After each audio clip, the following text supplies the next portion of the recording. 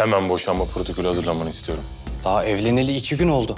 Şaka mı yapıyorsun? Bu kadar kısa zamanda ne yaşandı da bu karara verdin? Sürekli savunduğun kızın gerçek yüzü bu işte.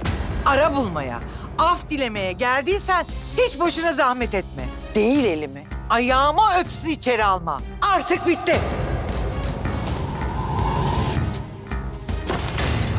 Hala burada Cihan Bey. Telefon görüşmeleri yapıyor. Az önce de birisiyle konuştu. Dikkatli ol. Hiçbir ayrıntıyı kaçırma. Ne yapıyorsun abi ya? Kimse benim şerefimle oynayamaz.